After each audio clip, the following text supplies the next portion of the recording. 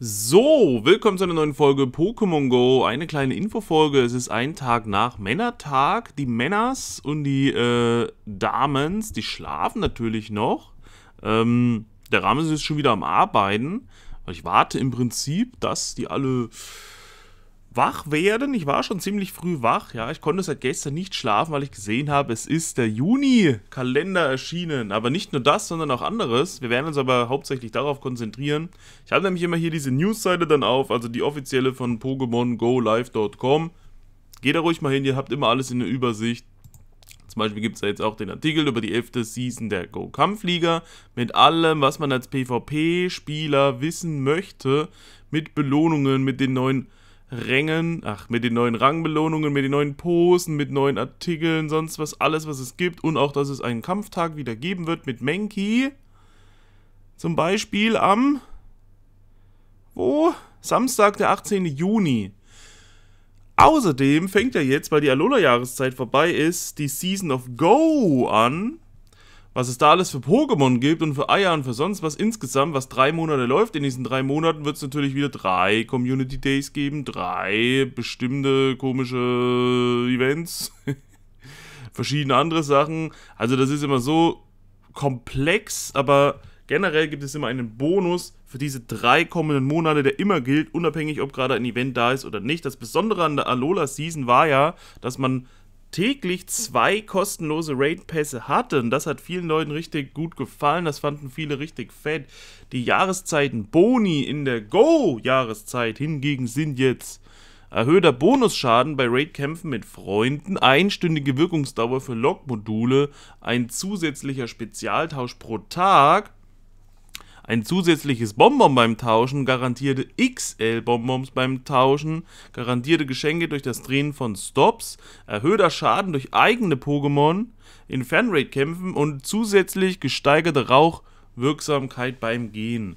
Vieles ist ja jetzt auch schon so gewesen oder ist die ganze Zeit schon so, was jetzt offensichtlich ausgetauscht wurde, in der Alola-Season gab es eben diese zwei gratis Raid-Pässe und in der Go-Jahreszeit gibt es statt Pässe einen zusätzlichen Spezialtausch. Das heißt, ihr könnt jeden Tag zwei Spezial-Trades machen. Ich hätte lieber geradet, aber die sind auch nützlich. Ich brauche noch ein paar Legendäre als 100er, die jedes Mal Spezialtausch äh, benötigen. Deswegen dazu. Was die Jahreszeit sonst noch alles beinhaltet, diese drei Monate, das werdet ihr sehen beim Schilling hören oder einfach euch selbst auf der Seite durchlesen. Und deswegen kommen wir jetzt auch direkt noch zum Juni-Kalender, denn das ist das, was die Leute immer wissen wollen. Feldforschungsdurchbruch, Rampenlichtstunden, Raid-Bosse, Raid-Stunden, sonst was, was es alles gibt. Und ich glaube, der Juli wird krass. Ach, der Juni. Der Juni wird krass für die meisten.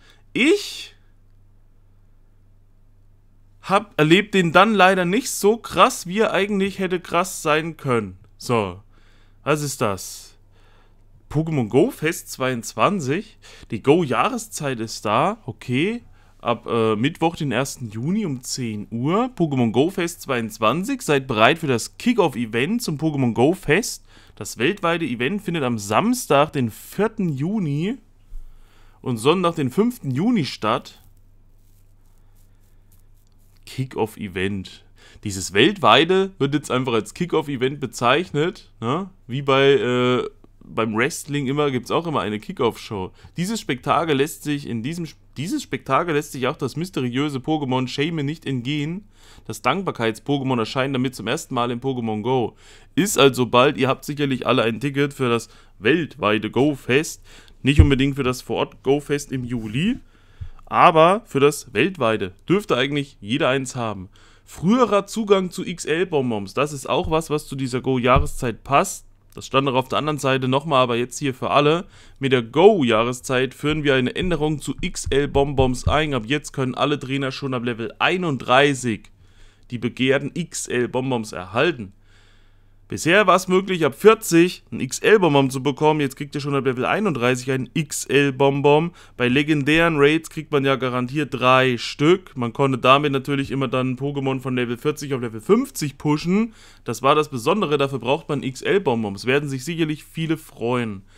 Weitere Events, die bevorstehen. Wir werden wieder eine Abenteuerwoche haben vom 7. bis zum 12. Juni und ein Crossover-Event mit dem Pokémon-Sammelkartenspiel vom 16. bis 30. Juni. Schreibt euch das schon mal auf. Zu diesen Events wird es später aber natürlich wieder weitere Infos geben. Jetzt die 5er Raids, die ja wichtig sind, wo viele immer drauf geiern. Mittwoch am 1. Juni geht es auch direkt los. Mittwoch bis Dienstag, 7. Juni, also theoretisch eine Woche, kommt Kyogre. Kyogre, richtig geiles Pokémon, richtig starker Wasserangreifer, richtig fett, richtig groß, hat die gleichen WP wie Groudon. Äh, ist Groudons blauer Bruder einfach, kann shiny sein, ist dann schön rosa oder pink oder wie auch immer. Ich habe einen 100er, ich möchte meinen 100 auf 50 ziehen, mir fehlen nicht mehr viele XL-Bonbons. Es würde theoretisch bei mir reichen, die täglichen Pässe zu machen und eine Raid Mania. Dann wäre ich damit leider fertig, aber ihr habt bestimmt mega Bock auf dieses Teil und werdet da viel raiden wollen. Ich habe nur keine Ahnung wie, da ja äh, Mittwoch, Donnerstag, Freitag Naturin wahrscheinlich da ist, wir Freitag nach Gera fahren, Freitag, Samstag, Sonntag und dann Montag erst zurück. Das heißt, es kann eigentlich gar keine Raids für Zuschauer geben. Und ich kann wahrscheinlich auch noch nicht mal eine Raid Mania machen mit Kyokre. Da sind viele enttäuscht, dass sie den durch uns verpassen, aber das ist halt dann so. Die müssen das ja auch unbedingt während des Go-Festes so reinbringen. Finde ich ein bisschen blöd, ne? Dienstag dann wechselt natürlich Kyogre geht, Groudon kommt. Groudon auch richtig cooles Pokémon, finde ich sogar noch lieber äh, als Kyogre. Habe ich auch das 100er, muss ich auch auf 50 ziehen, brauche ich ein paar XL. Würde mir aber, glaube ich, auch reichen, wenn ich dann äh, die Raid-Stunde, also Raid Mania mache und die freien Pässe. Ihr könnt natürlich gerne raiden. Da dürfte auch nichts anderes großartig anstehen. Also da könnte man Raids für Zuschauer machen, gerade auch an den Wochenenden oder so, denke ich mal. Und das auch ein sehr starkes, nützliches Pokémon, auch als Shiny erhältlich mit der besten Shiny-Farbe. Wenn immer jemand fragt, welches legendäre Shiny findest du am besten, sage ich immer Groudon. Dann Donnerstag, 16. Juni bis Donnerstag, 23. Juni, da wird es dann ganz kriminell. Mewtwo kommt zurück in die Raids. Und vom 23. Juni bis 1. Juli nochmal Mewtwo, aber hat immer zwei andere Attacken, weil einmal hat es Psychostoß und einmal hat es Spukball. Es fängt mit Spukball an. Die ersten zwei Wochen, nee, die erste Woche kommt Mewtwo mit Spukball. Jedes Mewtwo, was ihr da fangt aus den Raids hat Spukball, ist ja Legacy-Attacke. Und die Mewtwo's aus der zweiten Woche dann haben alle Psychostoß. Auch ähm, Legacy-Attacke. Ich habe schon mein 100% Mewtwo nach 783 Raids damals bekommen. Es ist auch schon auf Level 50. Für mich da die Gelegenheit, weil es ja zwei Raid Manias gibt, XL-Bonbons zu sammeln und mal ein Krypto Mewtwo auf 50 zu maxen was vielleicht durch die Dauer von zwei Wochen, den freien Raid-Pässen und zwei Raid-Manias möglich wäre. Braucht ihr noch ein Shiny Kyogre, ein Shiny Groudon, ein Shiny Mewtwo? Braucht ihr generell überhaupt noch die Pokédex-Einträge? Schreibt es mal in die Kommentare. Freut ihr euch darauf? Sind auf jeden Fall drei mega starke, mega nützliche, mega coole, mega krasse Pokémon. Da dürfte keiner Langeweile haben. Auch wenn man da was hat, kann man sich ruhig nochmal ein zweites Gutes hochziehen und gönnen. Mega Raids, finde ich, kann ich jetzt schon sagen, alle theoretisch langweilig, weil wir haben Mega Stalos. Ich glaube, der kann einfach gar nichts. Vom 1. Juni bis Dienstag, den 7. Juni, also solange wie Kyogre da ist, ist auch gleichzeitig Mega Stalos da. Braucht ihr noch Mega Stalos? Dann wechselt Dienstag, 7. Juni bis Donnerstag, 16. Juni auf Mega Aerodactyl. Könnte man jetzt vielleicht noch äh, XL-Bonbons, aber ah, nicht durch Raids sinnlos verballern. Wer da noch einen Eintrag braucht oder noch Mega-Energie, nutzt das. Für mich auch nicht so interessant. Ich habe auch noch nie was mit Mega Aerodactyl gemacht. Donnerstag 16. Juni bis Donnerstag 23. Juni, also dann so lange wie das Mewtwo mit Spukball da ist, gibt es Mega Bisaflor. Ist ja auch schon mega alt, wie das drin war. Ist trotzdem wenigstens nützlich und stark. Und Donnerstag, 23. Juni bis Freitag, 1. Juli Mega Tour Talk. Auch hier mit Mega-Entwicklung, zwar schon sehr lange dabei. Äh, neue Spieler könnten sich nochmal Mega Energie sichern. Alles sind natürlich auch als Shiny verfügbar nach dem, nach dem Raiden. Können als Shiny gefangen werden in ihrer Schrumpfversion. Aber brauche ich leider alle vier nicht. Ich hätte mich gewünscht, wenn da sogar nochmal was Neues gekommen wäre. Aber auf der anderen Seite gut, wenn was Neues kommt dann hätte man wieder da gestanden, macht man jetzt Mewtwo oder macht man das Neue oder macht man Mewtwo oder macht man das Neue. So konzentriert man sich ja wahrscheinlich hauptsächlich auf die Fünfer und bei den Mega-Raids nur, wer da halt noch was braucht, zwischendurch. Raid-Stunden sind dann halt auch so. Ihr seht das ja hier einmal Kyogre am 1. Juni. Was genau der Tag ist, wo Naturin kommen wollte, deswegen, ich weiß nicht also streamen kann ich die wahrscheinlich sowieso nicht, ob unterwegs ich eine Stunde kurz mal trotzdem raiden kann, die Einladungen trotzdem annehmen kann, ohne dass ich das übertragen kann, aber einfach nur kurz das mitnehme.